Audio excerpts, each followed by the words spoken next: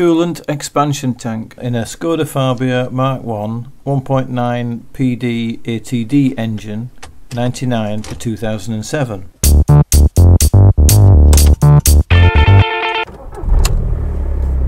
If you have a coolant light come on your dashboard after starting the engine, mine comes on after about 20 seconds and this can signal a number of possible faults. This video is going to concentrate on the coolant expansion tank which is located on top of the wheel arch next to the engine.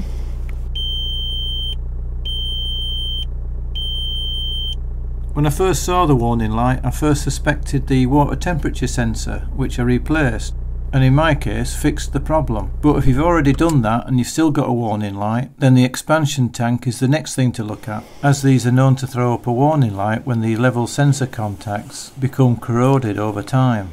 The expansion tank is attached with two nuts under this uh, plastic cable holder and a locating slot underneath. But before you take it off, it's worth checking the connection onto the level sensor, which goes into the bottle. To take the clip off, there's a little clip at the top, but there's also one underneath, and you just need to nip them together to, and then pull it off. Make sure the connections are clean.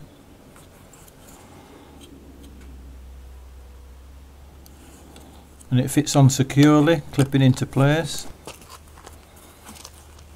And then just check the wires going into the connection that they're not damaged or frayed in any way.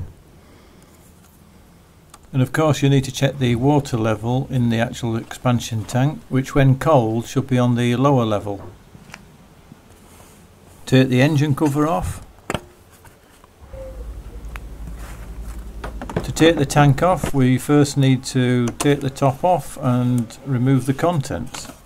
You could do this by draining the system from the drain at the bottom of the radiator but you'd have to take all the uh, under tray off and I don't want to do that and it's not really necessary. An ideal way of taking the water out is with a turkey baster similar to this one which are very cheap to buy and have many other uses around the car. You might want to use gloves to protect your hands as glycol is an irritant and be sure to wear protective eyewear and obviously don't swallow it.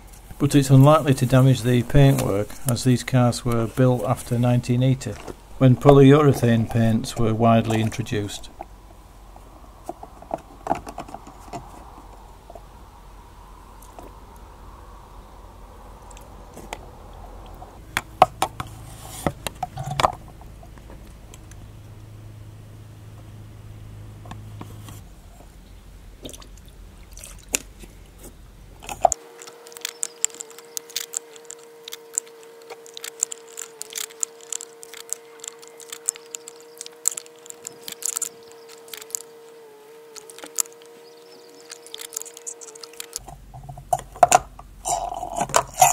Get the last bit of coolant out,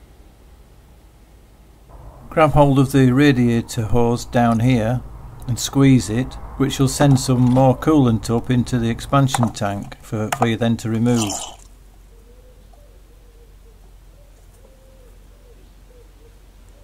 When you've removed all the coolant, you should get around 750 millilitres.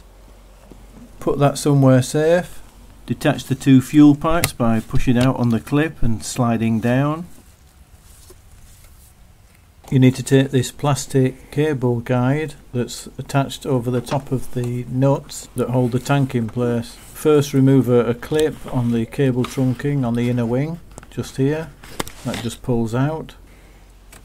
Take the cable guide off, you just need to put your finger around it and then lift it up gently but firmly and then pull it back slightly to expose the nuts and take off the nuts. I used a quarter inch 10mm socket and wrench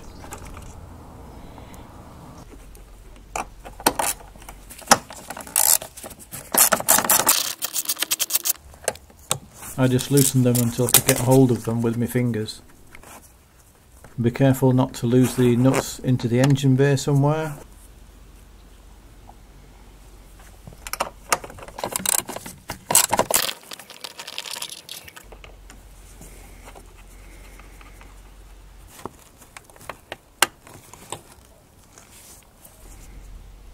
undo and remove the nut holding the vacuum unit to the bulkhead.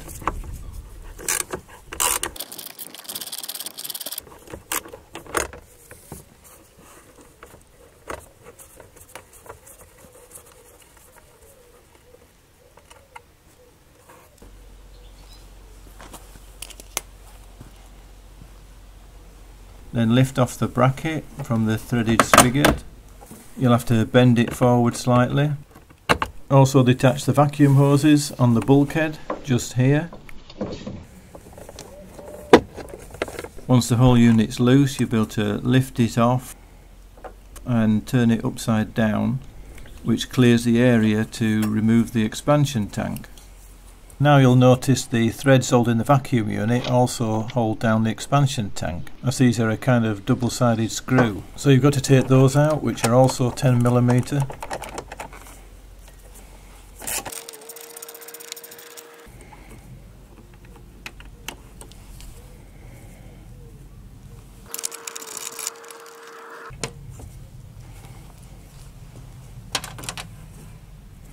Rock the tank from side to side while pulling upwards to remove the bottom slot support. It's like a serrated comb that fits into the slot here. Now we just got to undo the pipes, the top expansion and bottom lower feed and I found the ideal tool to take the clips off was a plumber's pipe wrench as the serrated teeth uh, grip onto the clips nicely and much better than a pair of pliers. Nip the clips together and slide down the pipe.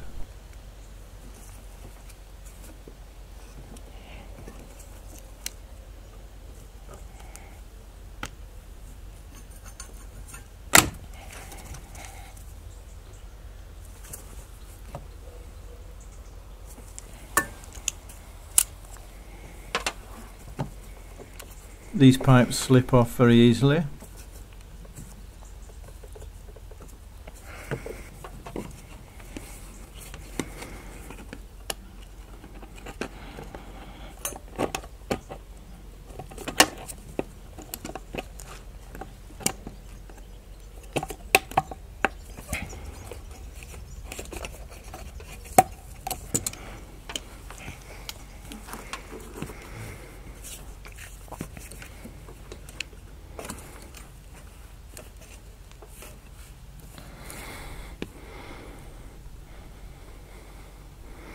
One bottle removed.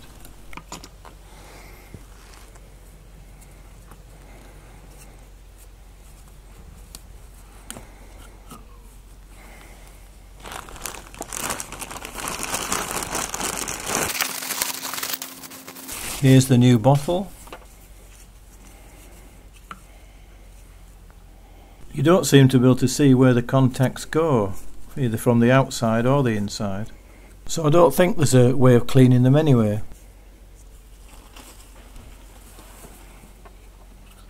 Now it's just a question of putting the pipes back on.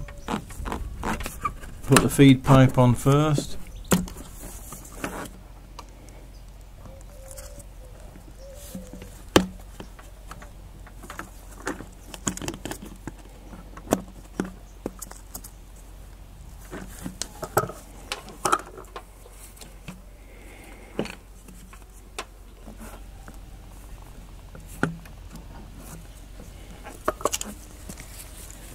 And I like to align the clips into the exact same position that they came off.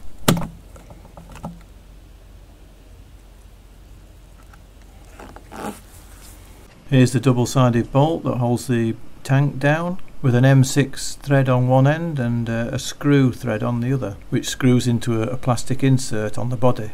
And one thing to note is that you need a long enough socket to fit onto the bolt which needs to be at least 25 millimeters long so it clears the thread.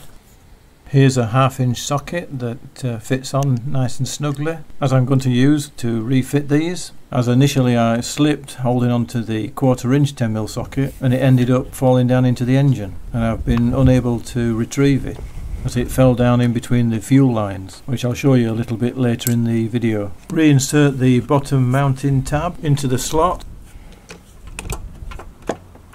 making sure it seats into place over the plastic inserts. Then holding the double-sided bolt in the socket, reinsert and tighten home, keeping hold of it at all times.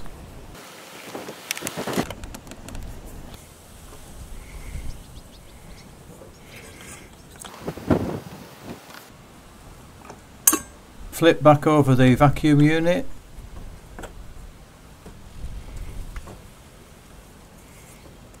And refit the brackets onto the threads.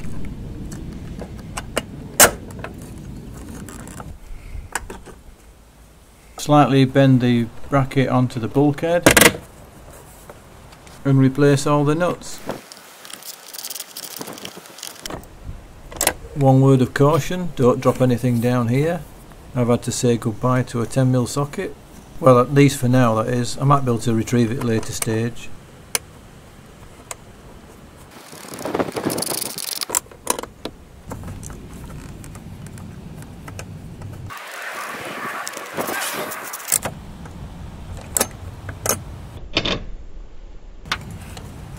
Push back the cable harness over the top of the threads the two fuel pipes on the side of the tank vacuum pipes on the bulkhead trunking connector on the inner wing and finally the uh, connector for the level sensor making sure it clicks into place now all you've got to do is refill the bottle with coolant up to the lower level and the job's done. And refit the cap of course. Thank you for watching. Please like, share and subscribe and I'll see you in the next video.